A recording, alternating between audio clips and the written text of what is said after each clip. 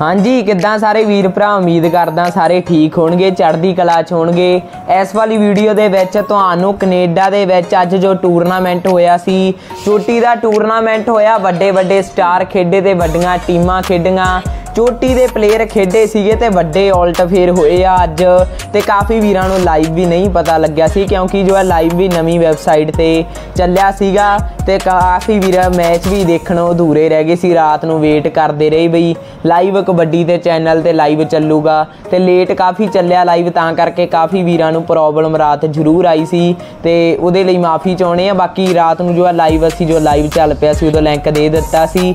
ਗੱਲ ਕਰੀਏ final result ਦੀ, ਅੱਜ ਕੈਨੇਡਾ ਦੇ ਵਿੱਚ ਟੂਰਨਾਮੈਂਟ ਪੰਜਾਬ ਟਾਈਗਰ ਦੇ ਵਿੱਚ ਕਰਵਾਇਆ ਗਿਆ, ਜਿੱਥੇ ਕਿ ਸੰਦੀਪ ਨੰਗਲੰਬੀਆਂ ਵੈਨਕੂਵਰ ਦੀ ਟੀਮ ਦੇ 55 ਅੰਕ ਤੇ BC ਯੂਨਾਈਟਿਡ ਕੈਲਕਰੀ ਦੇ 43 ਪੁਆਇੰਟਾਂ ਨਾਲ ਦੂਜੇ ਨੰਬਰ ਤੇ ਬੈਸਟ ਰੇਡਰ ਬੰਟੀ ਟਿੱਬਾ ਤੇ ਬੈਸਟ ਜਾਫੀ ਦੀ ਗੱਲ ਕਰੀਏ ਤਾਂ ਜੋ ਹੈ ਪਿੰਦੂ ਸੀਚੇਵਾਲ ਦੋਵੇਂ ਹੀ ਨਵੇਂ ਖਿਡਾਰੀ ਟੌਪ ਤੇ ਅੱਜ ਜੋ ਹੈ ਕਮਾਲਾਂ ਕਰਤੀਆਂ, ਇਹਨਾਂ ਦੋਨਾਂ ਪਲੇਅਰਾਂ ਨੇ।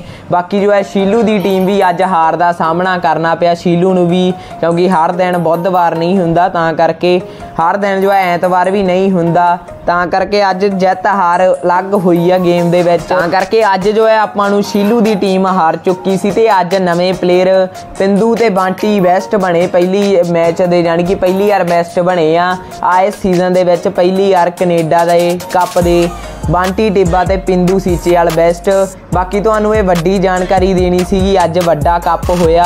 ਤੇ ਬਾਕੀ ਦੋਸਤੋ, ਜੇ ਕਿਸੇ ਨੇ ਲਾਈਵ ਦੇਖਣਾ ਟੂਰਨਾਮੈਂਟ ਤਾਂ ਉਹਦਾ ਲਿੰਕ ਤੁਹਾਨੂੰ ਕਮੈਂਟ ਬਾਕਸ ਦੇ ਵਿੱਚ ਮਿਲ ਜਾਵੇਗਾ। ਦੇਖ ਸਕਦੇ ਹੋ ਤੁਸੀਂ ਲਾਈਵ ਇੰਸਟਾਗ੍ਰam ਤੇ ਵੀ ਸਾਨੂੰ ਫੋਲੋ ਕਰ ਸਕਦੇ ਹੋ ਲਿੰਕ ਉਹ ਵੀ ਕਮੈਂਟ ਬਾਕਸ ਦੇ ਵਿੱਚ ਹੀ ਦੇ ਦੇਵਾਂਗੇ ਕਬੱਡੀ ਬਾਰੇ, ਕਿਉਂਕਿ ਉੱਥੇ ਵੀ ਦੱਸਦੇ ਰਹਿੰਦੇ ਆ। ਧੰਨਵਾਦ।